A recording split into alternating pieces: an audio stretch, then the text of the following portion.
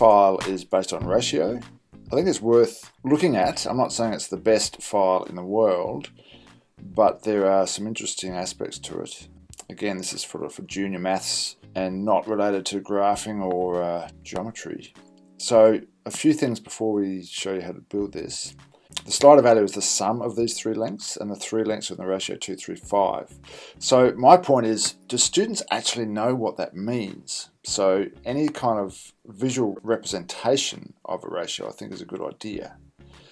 Uh, how this comes together is interesting, and where I think this does have potential is you could set students a task to create one of these. There's a bit of maths involved in making this work. So I think that might be the nicest aspect of the file itself. This video is made assuming that people know how to um, do stuff with GeoGebra. So there's a couple of things. The sum of these three segments is calculated here. So that's S. You need that for the, the, the dynamic text.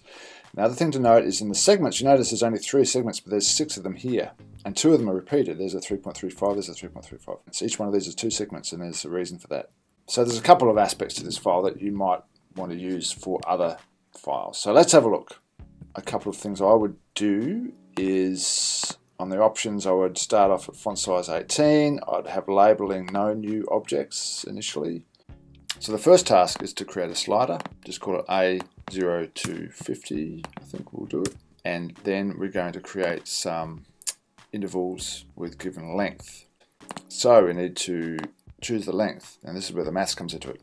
So the first one's going to be uh, 2 tenths, which is 1 fifth, which is A divided by 5. And let's move the slider along the way a little bit. Second segment will be A divided by 10 times by 3.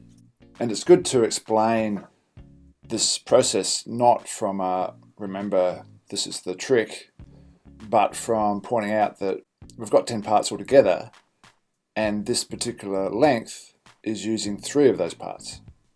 So we divide it by the 10 and we times it by 3. Just thought I'd throw a plug in there for conceptual understanding rather than rote learning, haha. And the third one is going to be a half. So let's have a look at what it looks like. Look at my right. Um, don't know where that point came from. Now what we need to do is get these values. Now the reason I've got two segments for each one is that I've linked the hide show to the coloured one, which is fatter, and it's got the uh, value turned on, so that when I unclick that, the original one stays there. So that's a nice little trick, a nice little principle you can use uh, in a lot of files. So what I'm going to do is hide, uh, and we can do that just by doing that. Then we're going to get a standard interval segment. And we know that's I, all right? So on I, we want to um, show the value. for some reason, you're gonna do that twice. And I'm going to make all these fives, and I'm going to color that one uh, purple. Same with the next two. Now what I can do is hide both of those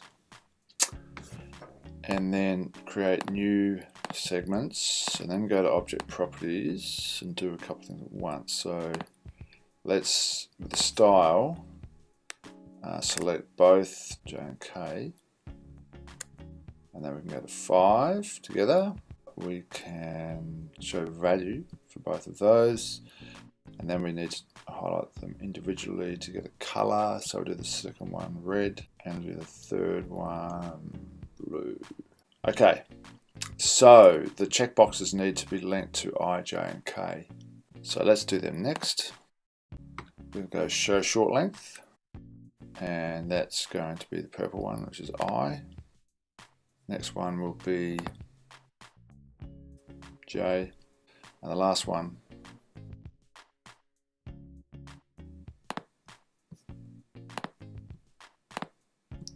Then we need to unfix all these. Then we need to color. Okay, so let's see if that's working. Yes. But I like having the other segments showing. So now, there we go. So you can start the file with what's what's going on. What's going on, kids? You could even hide this first. You could guess that first. And you could put this on a check a checkbox as well. Um, so we could do hide ratio.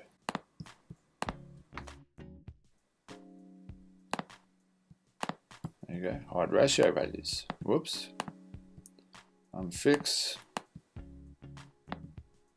There you go, so you could start that way. Then you could show the short length, or one at a time, you could show those. See if they can work out what the ratios are. And then show that. Now we need the dynamic text. And we need to do the sum first. Either FGH or IJK, it doesn't matter.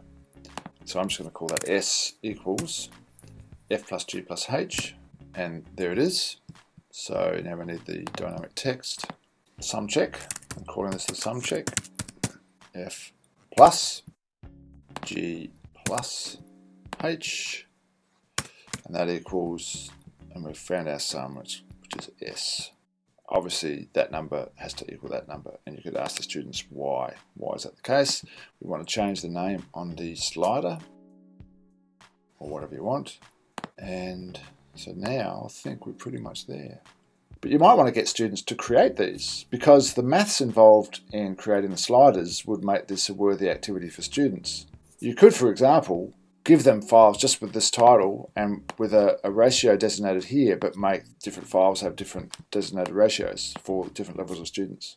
And once students have made a couple of these, you might get them to make up any any file that's got that has a ratio in it to their sort of level. So there's an idea. Hope you like that. Thanks.